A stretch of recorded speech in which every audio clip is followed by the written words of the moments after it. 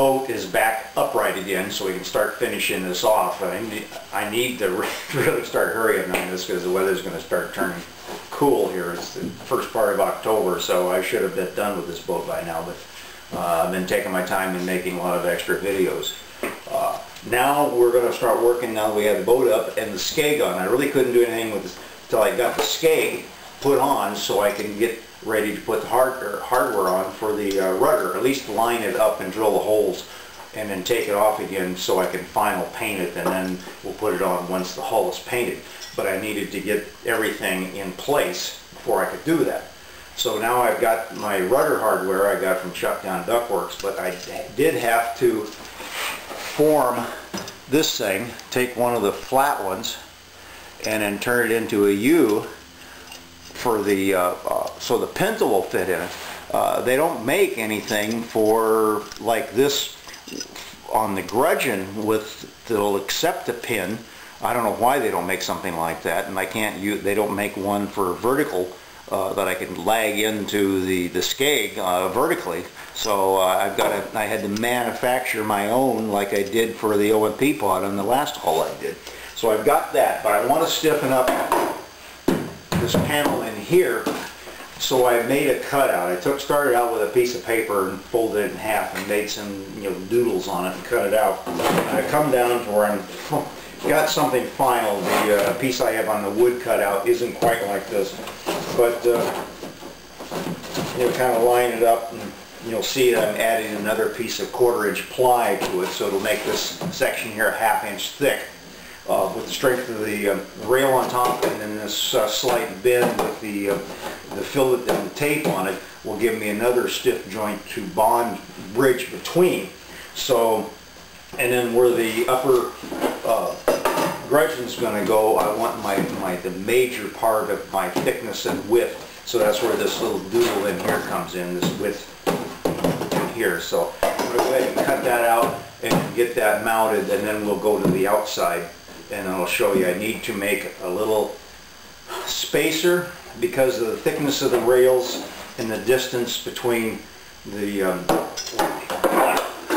pintle fits into the gudgeon here. I've got a little bit of distance if I don't set it out uh, an eighth of an inch uh, shim uh, then I'll be banging on the uh, gunnels every time. Well actually not on the gunnels but on the, uh, the bling trim we're going to be putting on I may put a dimp, dimple in that as opposed to putting a shim underneath this. We'll know when we come to it. Well, I have it finalized. Now I just have to epoxy them on.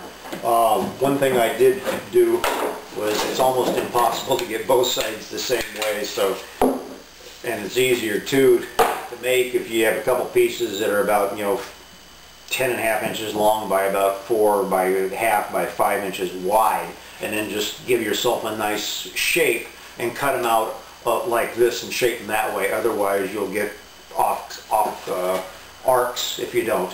So uh, I got that in. I picked up some uh, new clamps my local woodworker store had some Bessey adjustable clamps on sale for like I don't know two dollars off each one of these little rascals and these are really nice clamps.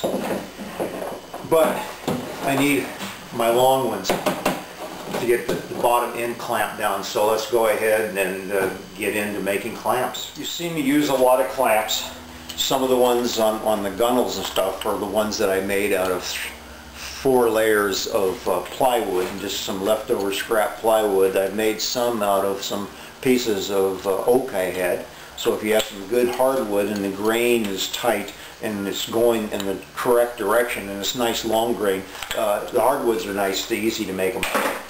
But for the uh, laminated ones, I take, you know, if I have some pieces left over, I've got a little bit of epoxy left over and I have some of my little pieces cut out that are about the right size, I'll just slap them up, you know, some epoxy on them, whatever's left over in a jar I don't want to waste or you know uh, wipe up with a cloth and, and, still waste. I'll smear it on those little uh, pieces and then I'll build up layers or else maybe I've got some uh, other pieces that are this will be like two uh, two clamps uh, usually try to get them about an inch and a half wide and about five yeah what do we got here about five and a half five six inches long whatever you've got whatever's handy with that, you know, is handy for you. Uh, and then I'll take, like when I've used those, uh, made the cutouts for the hatches, they're usually half inch thick, so I'll take a couple of the uh, same size rings and then I'll, I'll laminate those together. So that'll give me, you know, a full inch. And then I'll mark out, can you see on there? Yeah, two clamps. Now I get some waste, but you know, it's better than nothing else. And then I'll take some odd pieces and of sizes and whatever and laminate them up too. So, but today we're going to um, get in and finish off these ones that I need in order to hold the, the bling trim on the sides uh, because I got to go down at least uh, 8 inches, 10 inches in the bow here to, to gr grab something close enough to the bow to hold it in place while I'm measuring it and, and then epoxying it on. So let me uh, reset up and we'll get in making a clamp because they're all the same. Once you do one, you've done them all, no matter how big they are. The clamps we're going to make today are going to be the, the long ones I need to get down over the gunnels to hold the, the trim in place. And they're about, uh, I got some um, half inch uh, maple backsplash from some counters, kitchen counters a neighbor had uh, some wood left over because he was a trim carpenter. And I had some half inch uh, plywood I cut into strips. And they're about an inch and five eighths by 14s and then I put little little tabs out to you know about a little longer or wider than what the thickness of the rails are so I'll be able to come down and span the rails. So but I've already got them pre-marked up at um, three quarters of an inch and then another two inches down and then center line. So now I'm going to drill holes uh, half inch holes. Half inch I'm using 5 16 bolts and um, the half inch uh, holes give them enough room to move around that they don't uh, jam up as I'm, you're trying to thread them in and out. So I'm going to drill a set of holes through this way and then through the sides and then put in the little um, those little toggle bolts that we use. Here we're going to use our brace and bit with a half inch bit. And now I'm through to my backing wood.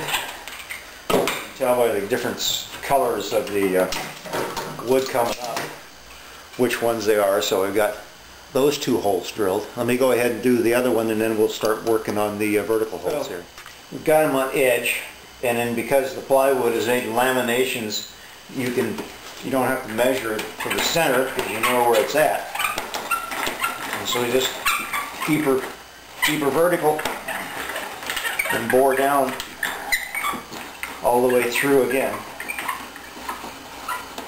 And then if you want to sand the inside, just I took a, a piece of sandpaper and wrapped it up around my uh, my little rat or rasp rat tail rasp here, and then just swing it around like that, and it sands out the interior. And then with the top bolt, it has a nylock nut, a washer on both sides, and then the nut coming down. And for those that are really sharp, you'll say, why did he drill that hole there? Every time I make clamps, the first one always gets that extra hole. Since I'm only making one, uh, that'll be there to remind me every time I look at that. You only need one, one hole per side, but they're staggered from side to side. Okay, I've got them the way they're supposed to be with the head of the bolt on either side. So this hole didn't need to be drilled and this one up here didn't need to be drilled. So just remember that when you make your own like I said before, I do this pretty much every time. I forget I only need one on each side. On the flat face, these always need two. So let me go uh, get some wood in. We can use this clamp.